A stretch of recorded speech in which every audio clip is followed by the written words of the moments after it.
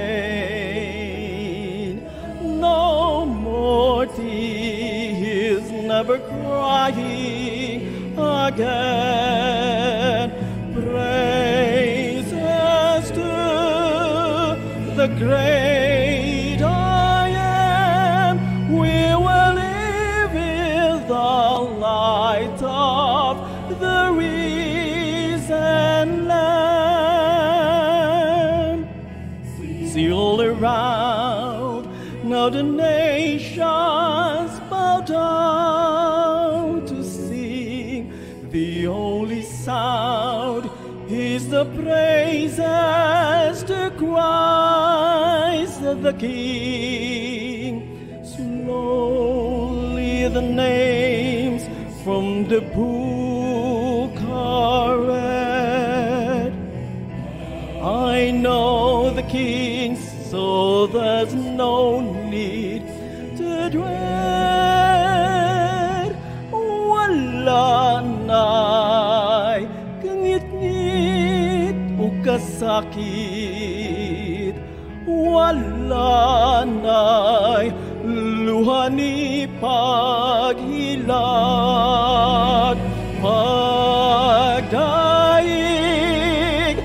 Diyos amahan, magpayuban ng kahayag sa nabanhang kordero.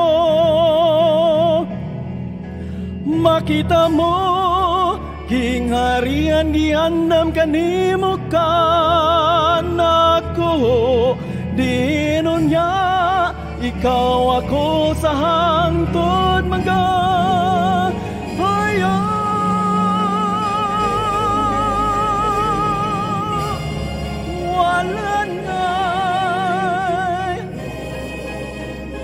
No more pain,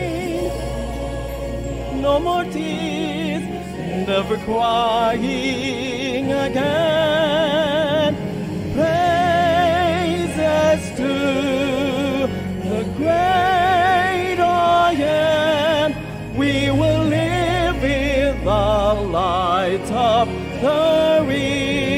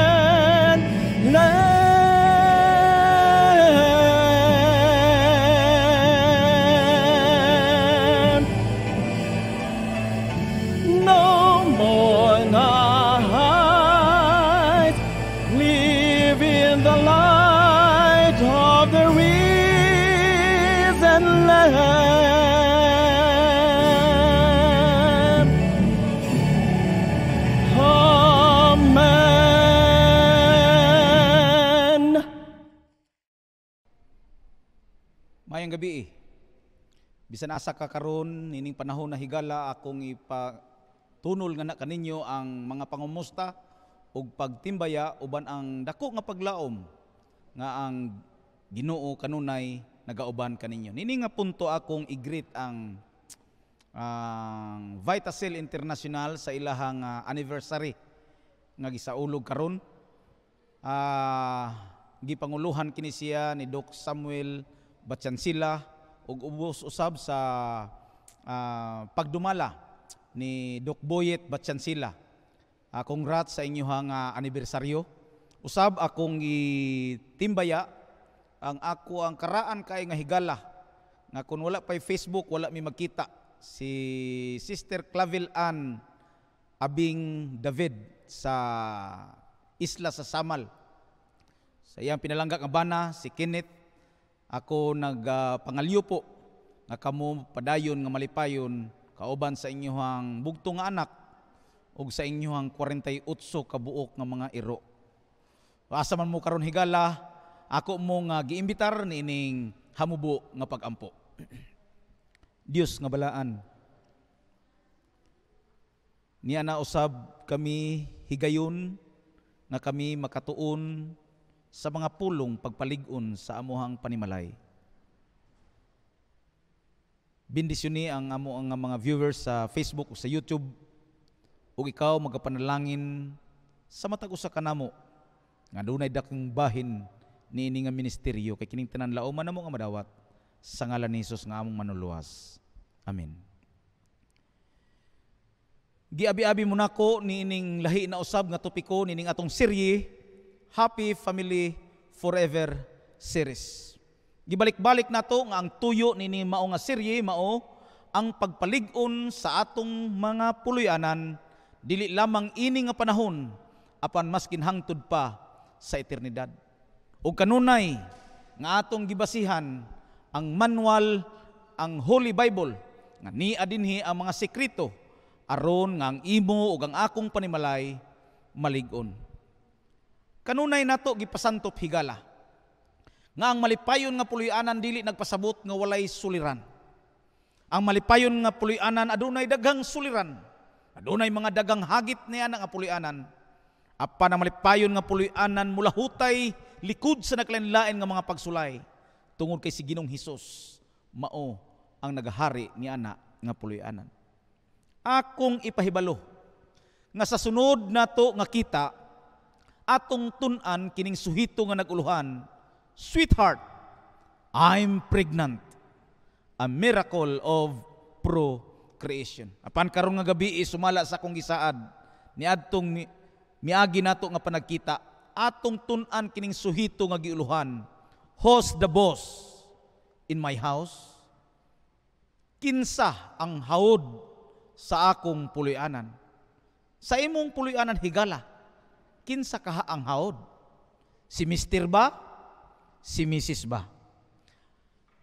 Atong ablihan dahil lima ka mga susi aron nga atong maablihan ang tubag sa pangutana. Kinsa ang haod sa atong puloy-anan. Susi numero uno. Husband is the head of the home. Mga asawa, timan e gyud ninyo nga ang mga bana mauni siya ang ulo sa atong puloy-anan. Mao bitaw na nga sa Episo 5:23 nagaingon, For the husband is the head of the wife, as also Christ is the head of the church, and he is the savior of the body. So kini manggong lalaki, kini moingon ka nga siya ang ulo sa puloy-anan, nagpasabot nga siya ang utok sa lawas o sa ato nga puloy-anan. Ingon pa sa mga eksperto, brain regulates the neurological system. Ngani, kining utok mao siya receives the sensory messages. So kung imo makita ang kakusgon sa lihok sa utok, na nagiingon din hi ang iyang kakusgon 320 kilometros kada oras. Kusog pa ni kaysa Innova ni Pastor Rossi nga dagan no kining 320 kilometers per hour. So mga asawa, mga bana ato ning tima, timanan nga ang ulo unsa iyang buhat ani Genesis chapter 2 verse 23, the husband is the protector. Siya ang ulo, siya ang magprotektar sa iyahang asawa. Magprotektar siya sa iyahang mga kabataan. Tungod kay ang bana mauman ang ulo, siya pod provider. Mangita siya og iyahang ipadako sa iyahang mga kabataan, pagkaon, pagbisti, puloy-anan. The head is also the spiritual leader. So kitang mga bana, kita maoy mga pare, mga saserdote sa atong matagsa-tagsa kapuloy-anan. Karon unsa man di ay ang asawa. Susi numero dos, wife is the heart of the home. Kung ang bana mao ang ulo sa puloy-anan, ang asawa maupod sila ang kasing-kasing sa puloy-anan. Genesis chapter 2 verses 21 and 22 nagingon, And the Lord God caused a deep sleep to fall on Adam, and he slept. And he took one of his ribs and closed up the flesh in its place. Then the rib which the Lord God had taken from man, he made into a woman and brought her to the man. Buot ipasabot mga higala nga si Iba was made not with a bone from Adam's head to rule over him. Wala gikuha si Iba nga dinhi nga bukog diri sa bagol-bagol aron nga maoy magdominar kang Adan. Wala pod siya gikuha sa bukog sa tiil ni Adan aron nga yatak-yatakan. Usahay daghan bayay mga asawa nga muhawod sa bana. Daghan po mga bana nga ila ra pong yatak-yatakan ang dignidad sa ilahang mga asawa. Apan ang balaang kasulatan nagaingon nga gikan sa gusok sa kiliran buot ipasabot nga ang bana og asawa tupong mga kaigsuonan magtinindugay sila nga tupad at tubangan sa ilahang buhi nga Dios apan sa dinha nga ang sala misulod sa kalibutan nagpaubos kini sa dignidad sa babay higala. Pagkanindot lang, kay ang pagtubos, redemption provides for her restoration. Ni ubos ang kalidad. Buot ba ipasabot nga, ni, ni ubos-ubos gamay ang ranggo sa babae tungod sa sala. Apan sa dagway o sa ngalan sa kaluwasan, na restore o nabalik ang dignidad sa mga babae. Mao bitaw na nga nag-ingon sa Genesis 3:15, "Unto the woman thy desire shall be to thy husband, and she he shall rule over thee." Ang bana mauna ang magbuot, mag uh, magdominar ibabaw sa asawa sa dinha nga ang sala misulod na sa kalibutan. Apan pagkanindot kay sa Genesis 3 verse 28 nagingon, There is neither male nor female, for ye are all one in Christ. Tanawa ning kasing-kasing. Kung ang utok, paspas kay mo proseso, 320 kilometers per hour ang kapaspas, ni apoy kasing-kasing. Heart beats 100,000 times a day. Unya mo bumba kini siya 2,000 ka mga galon nga dugo sa tibuok nga lawas sa tao. Tanawa pagod. Higala kung unsa ka importante ang kasing-kasing. Kung unsa ka importante ang asawa. Buot ipasabot mao nga ang asawa, the wife is my soul partner. The wife is the peacemaker. Pa, the wife is the beautifier in the house. So importante kayo tungod kay ang Proverbio 31, 10 ug 15, 11 nagingon, Who can find a virtuous woman? For her price is far above rubies. The heart of her husband doth safely trust in her, so that he shall have no need of spoil. Pagkabililhon, daw walay bili, nga igo nga ikapalit, unsa ang bili sa usa ka maayo nga asawa. Mauna nga kini mga asawa mao ni sila beautifier kasing kasing sa puloy-anan magpatahom sa atong puloy-anan mga bana pagkangilad kun wagay magpatahom sa atong puloy-anan Mao bitaw na nga ingon ri sa 1 Peter 3, 1 to 4. Modesty is a silent witness.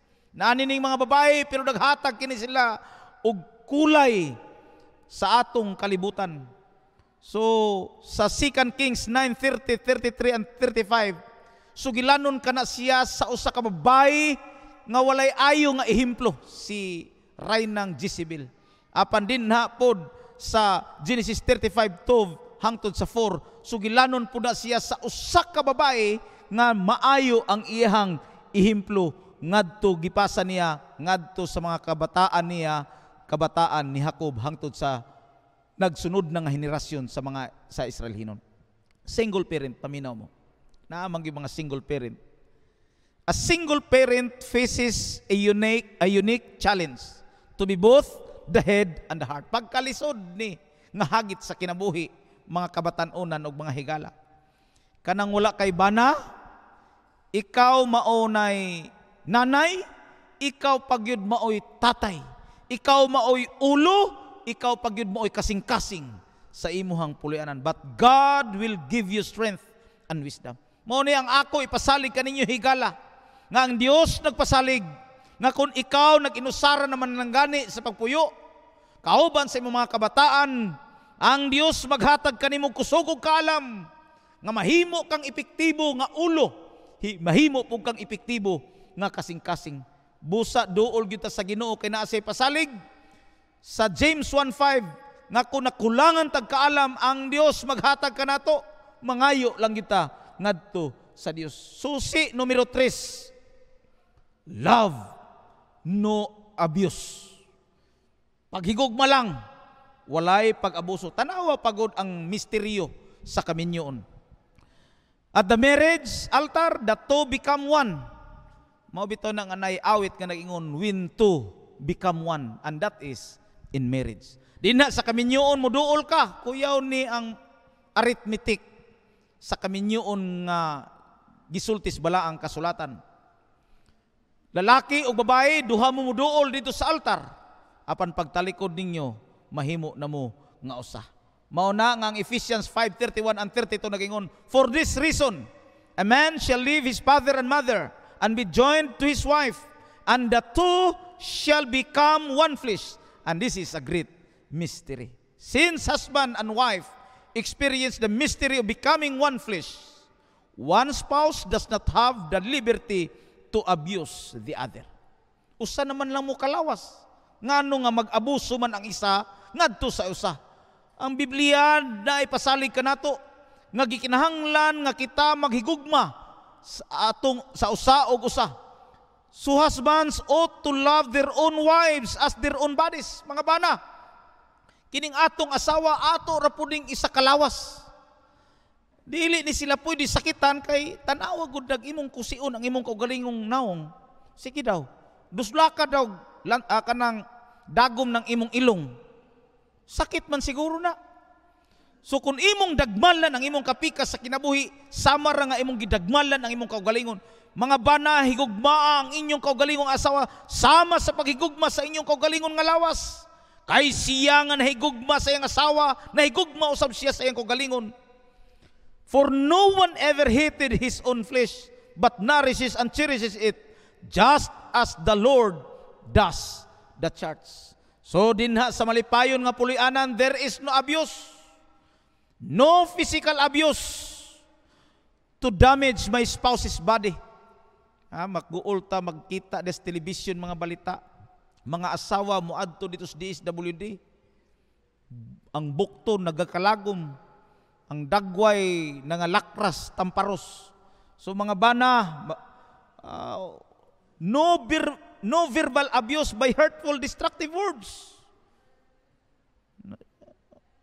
walay abuso usahay wala na abuso physical pero didto pulong sa magtia sa magtrato pa pagka loving kayo matakil po iday. Ingat, ingat. Pero pagka naminyo na, pag makatakil mo, pagkatanga. Danghag lang agi. That is a verbal abuse. Asa man tong pagkanindot kayo sa una.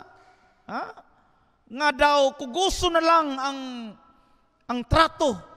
pero usay sa naminyo na naanay verbal abuse. No sexual abuse that devalues or distorts my mate's sexuality. Pero naabaya po yung mga mga bana ma'am siya nga mao po'y gidaog-daog sa mga asawa. Kaming bana luom-luom raman mi kay ulaw man kay isulti dito sa barangay nga gitamparos mis asawa. No, daghay mga bana ana nga gipantamparos pero wa may balaod pa daw. Amo nang usay nay mag bana makaabuso delikado pero usay asawa nga mag-abuso dili madelikado. Ah, banag asawa ato ani tanang leksyon, na? So if abuse persists, kung ang pag-abuso magpadayon man gali, ingna ng imuhang bana o ang asawa nga dai dong di na nako kaya. Kung ang imong kinabuhi madelikado, pagpatabang, no? Pangitag dapit nga ikaw matabangan, you get a professional help for the abuser and the abused. Mangita gyud tag magtatambag nga kanag yung professional nga makahandle sa ato nga problema. Key number four, mutual submission. Ang kining pagkamatinugyanon sa bana ug sa asawa. Speaks to husband and wives kining Ephesians 5:21 to 33 nagasugilon kini siya may tungod sa mga bana ug sa mga asawa. Unsa man di nga panultihon? Unsa man nga statement? The key statement is submitting yourselves one to another in the fear of the Lord. So gikinahanglan the wife should submit. Ingon pa din hi, asawa, wives submit to your own husbands as to the Lord. Therefore, just as the church is subject to Christ, so let the wives be to their own husbands in everything. Kining pagkamatinugyanon ngadto sa imuhang bana. So sa mga bana pod, bana pod gitambaganta, husbands, love your wives just as Christ also loved the church and gave himself for it. Napadrihulagway sa ako ang uh, pinalangga tinahod nga magtutudlo. Si Pastor Wendell Sirano, si Mami Esther, nag-uban mi ani dito sa Malaysia Unya mao pagid nga dagway nila kaniadto hangtod karon wala dugay na pud mi wala kayo nakita, no? So mga bana, subitar imong kaugalingon ngadto sa asawa. Asawa, itugyan pod ang imong kaugalingon ngadto sa imuha nga bana. Pangutana, did Christ submit to the needs of the church? Mitugyan ba pod si Ginoong Hesus sa mga kinahanglan ngadto sa iglesia? Yes. Nitugyan siya even to the point of dying for that church. So the husband should submit to the needs of his wife to the point of dying for her. Kanang kita mga bana, kanang pagtugyan nato sa atong kaugalingon, ngadto sa atong kapikas sa kinabuhi, nga kanang hangtod yun sa katapusang pitik sa atong mga kasing-kasing.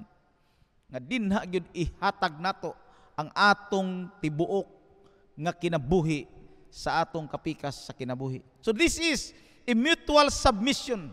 Tanawa, hinumdumi ninyo ang ato nga key statement, submitting yourselves one to another na isumpay in the fear of God. Na ikahadlok nga na sa Ginoo. Samtang ang mga tinunan nagkukabildo, uh, they were arguing about who should be the boss in them.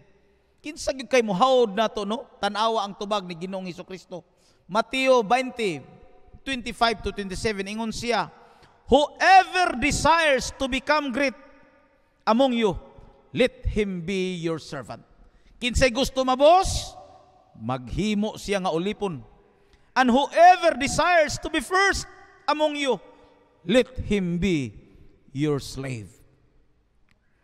So, there is no master. The husband is the head, the wife is the heart, the head and the heart work together. Kinahanglan ang ulo o ang kasing-kasing magbuhat mo nga hiniusa.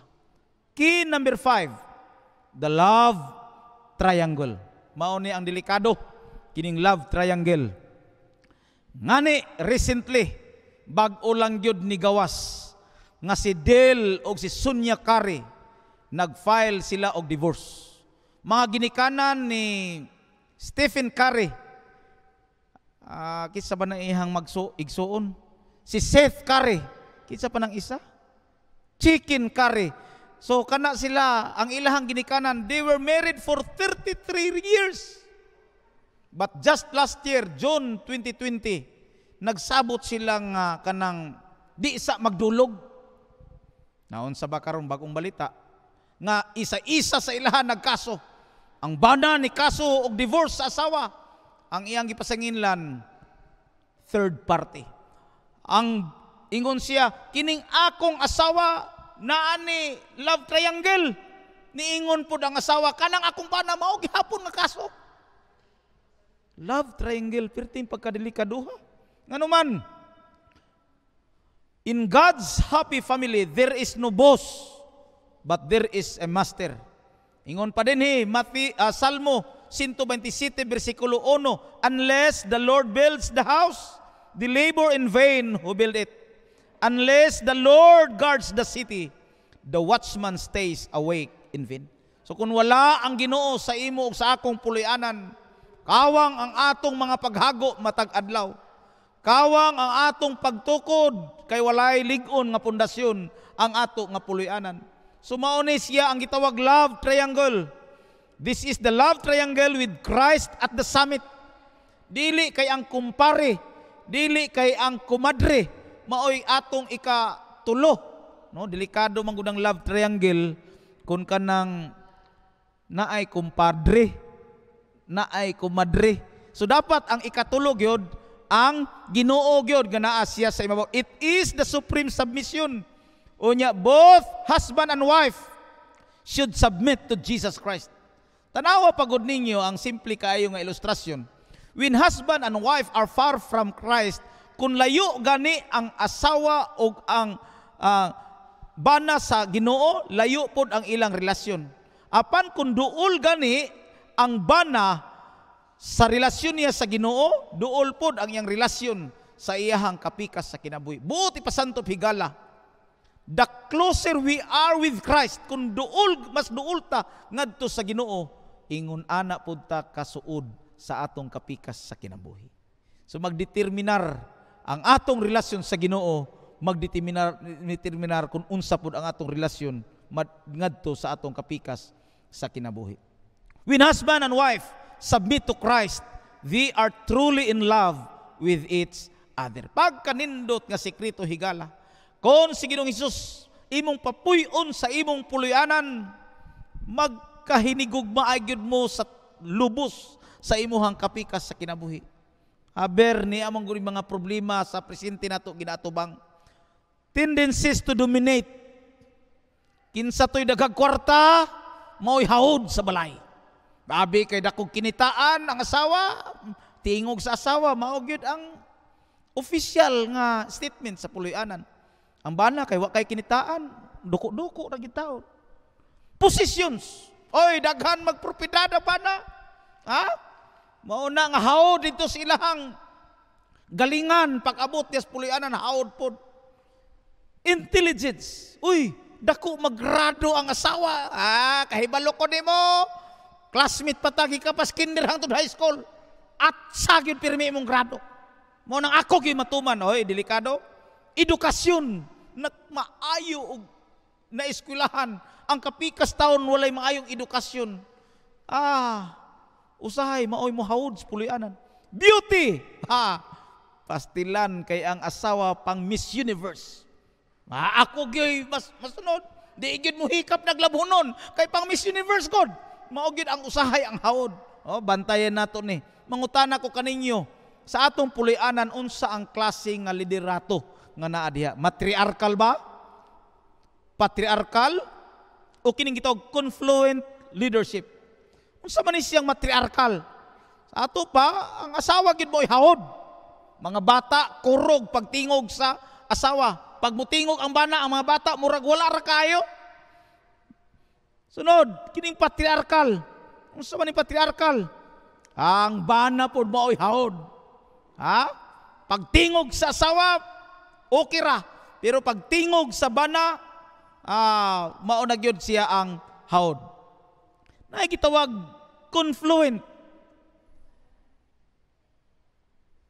Unsa man ning confluent mo ning mag-uban ang bana og ang asawa. Nay pangutana dinhi nga atong hatagan og pagtagad. How do I submit myself and my family to Christ? Ang Philippian jailer na ay tubag ani.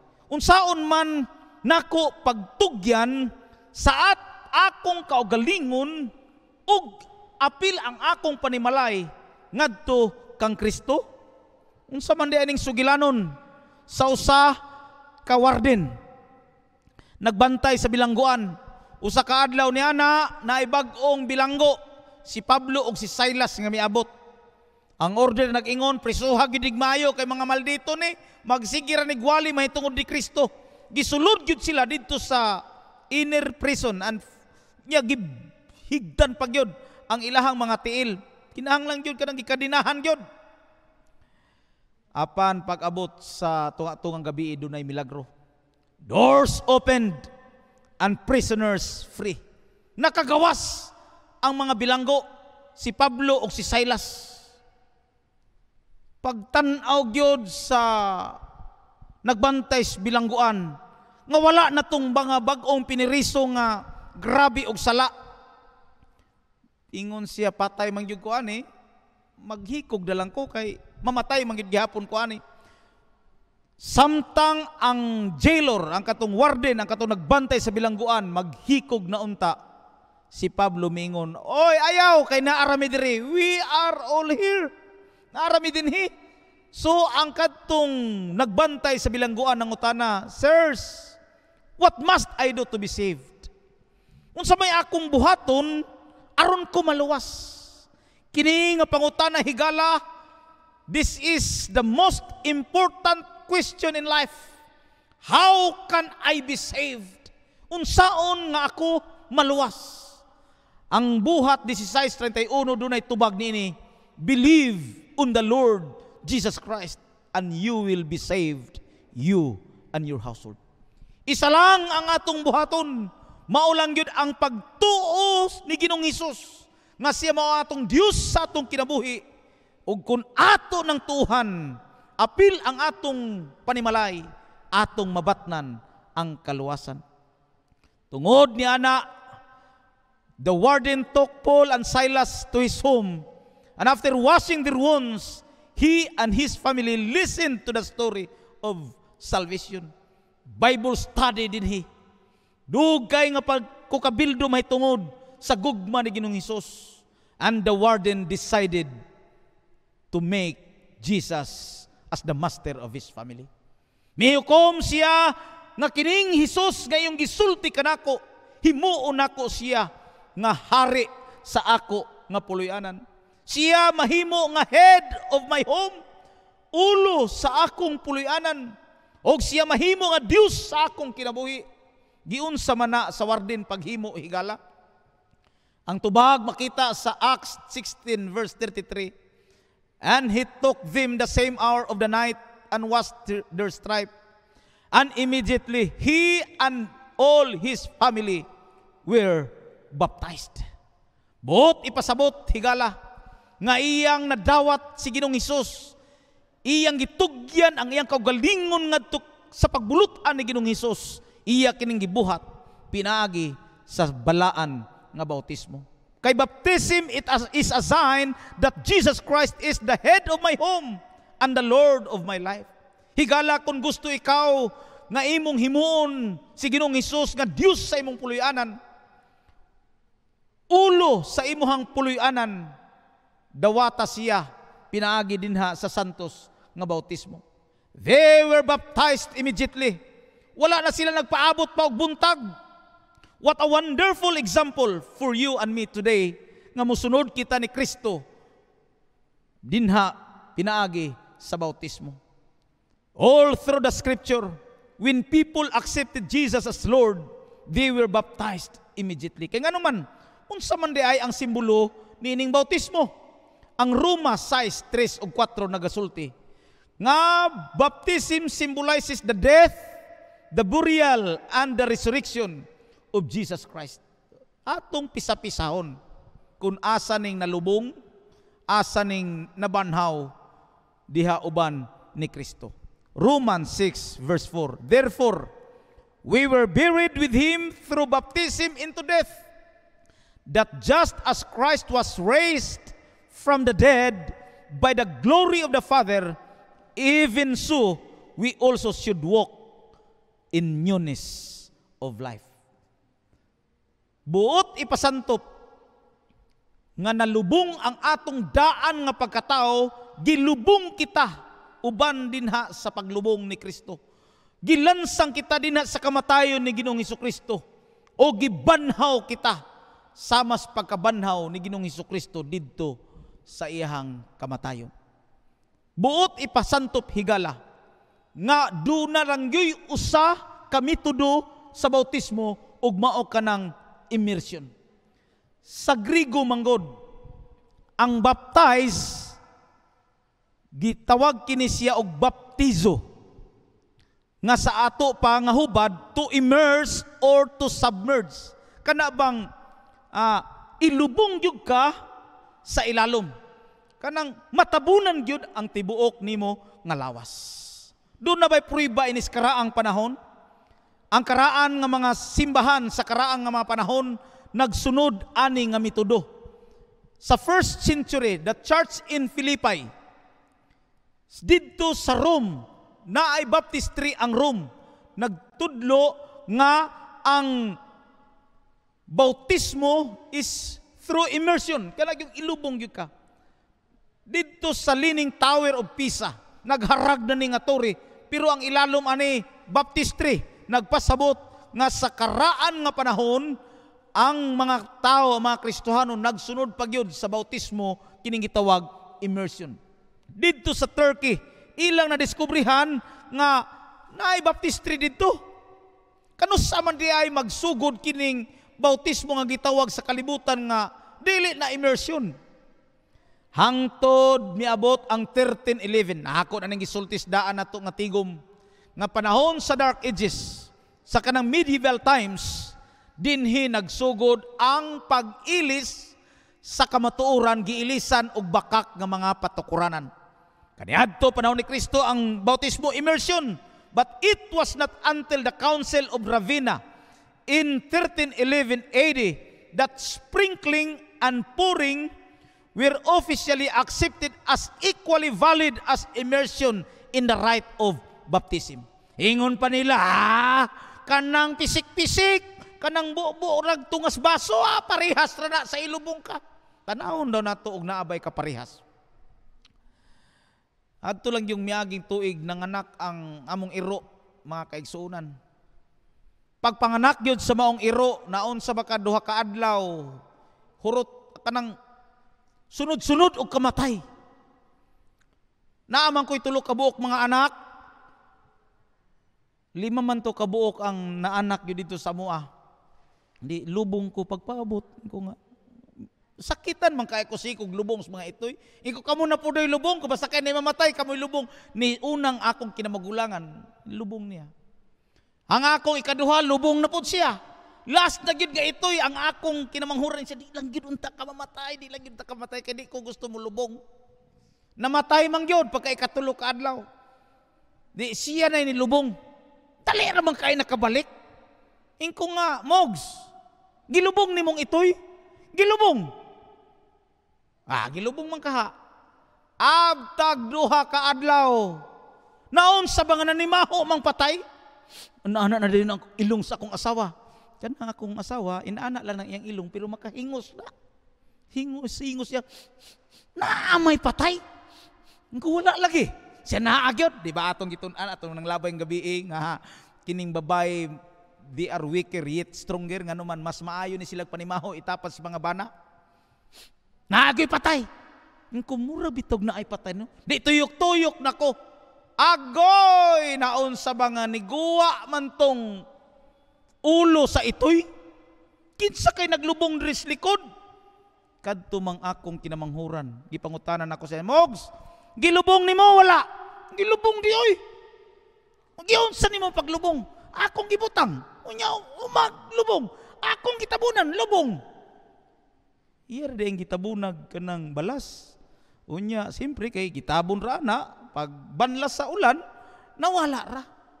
So dili lubong kanang imo lang tabunan. Manimaho na. Sa bautismo aron malubong ang imong daan nga kinabuhi di pwede pisik-pisikan ra ka kay manimaho gyapon nga patay. Dili pwede nga bubuan lang kag isa ka baso kay ang Dios nagsugo nga ilubong ang imong baho nga kinabuhi dinha gyud sa tubigon nga lubganan. So, I should go down into the water to symbolize my spiritual death and burial. Muadto gyud ko sa lubganan nga tubigon. Nagsimbolo ka na sa akong kamatayon, sa akong pagkadautan, ug akong ilubong ang daan akong pagkatao. Then I should come up from the water to symbolize my resurrection to a new life in Christ. Uman sa bautismo, mugawas ka nga bag-o na nga binuhat, bag-o nga kinabuhi, ang pagsunod dinha kang Ginoong Hesus Kristo. Panahon sa Pentecoste, 3,000 ka mga tao ang nabautismuhan sa usa ka adlaw. Si Pablo, si Silas was baptized. Uh, then uh, Paul, then called Saul, was baptized without delay. Wa langan. Gibautismuhan, tanawa po ning Ethiopian treasurer. Gibautismuhan gyapon siya, matud pa sa buhat 838 ni anang adlaw. Tanawa gud ning Ethiopian. Now as they went down to the road, they came to some water.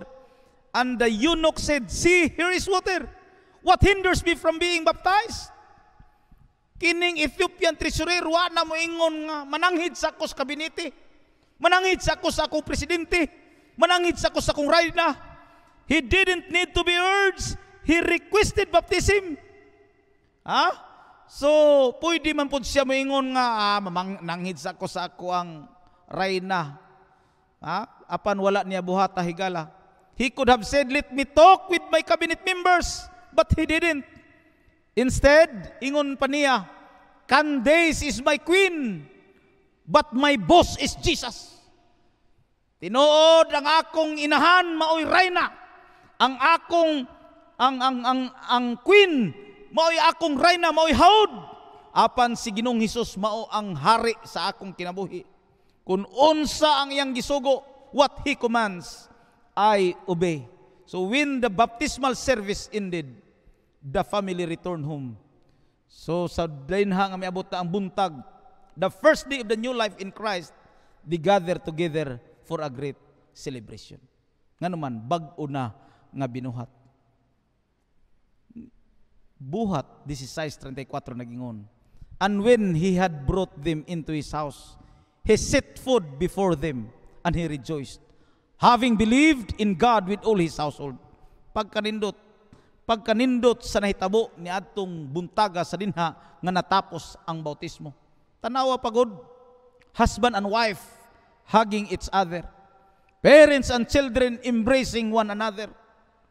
This was now God's happy family. Mao ba na ang atong handom higala sa atong kinabuhi?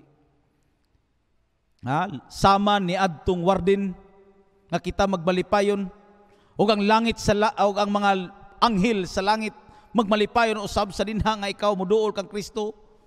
When I follow Jesus in baptism, there will be a great rejoicing. Ang langit malipay.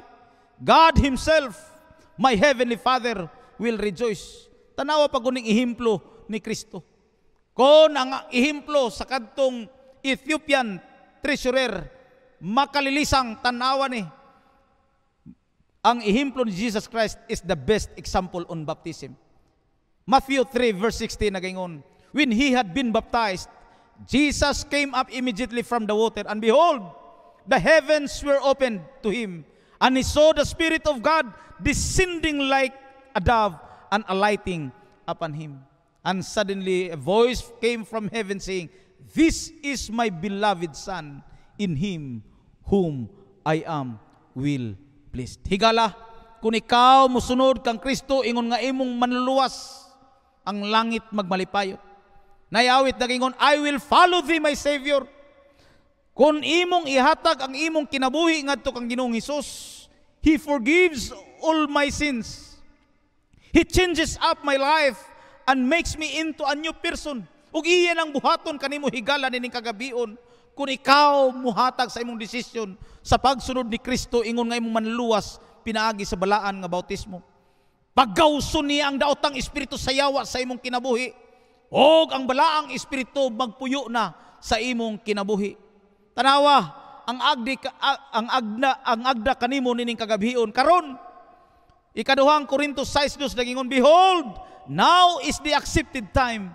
Behold now is the day of salvation. Karon dili ugma higala karon na mao ang adlaw sa kaluwasan. Dawata si Kristo. Ingon nga imong manluluwas let us come to Christ just as we are. We don't need to be holy to come to Christ for salvation. We don't need to be righteous to come to Christ. Let us come to Christ just as we are. Let me come to Christ just as I am. Duol kang Kristo higala. Ingon nga kung unsa ka. Kay sa dinha nga muduol ka ni Kristo, hatagan ka sa balaan nga kinabuhi. Siya ra ang makahimo og balaan sa imong kinabuhi hatagan kaniya sa bag-o nga kinabuhi nga ang balaang espiritu mauna ang magasulod sa imong kinabuhi. Ug ang balaan nga espiritu mauna ang magbuot sa imong kinabuhi, ikaw mahimo na nga bag-ong binuhat nga na sa ihang atubangan. Higala, nining takna sa kagabion, itugyan nato ang atong kaugalingon ngadto sa Ginoo. Ang Ginoo nga nagpakamatay sa Kalbaryo sa krus ang Ginoo nga nagtanyag kanimo og kinabuhi nga walay katapusan nining takna sa kagabion. Dawata siya, lakip na ang imong kabanayan ug mabat na nimo ang tiunay nga kalipay ug mahimo ka nga tipik ug kabahin sa panimalay nga iya sa Dios. Ang Ginoo magapanalangin.